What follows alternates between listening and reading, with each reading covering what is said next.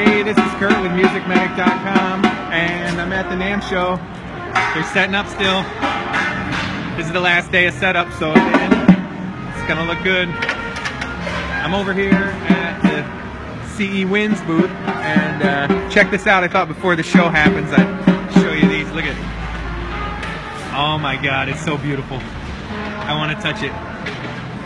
So I asked the guys when you would use a horn like this, and they said, well, you pull this horn out you to shine.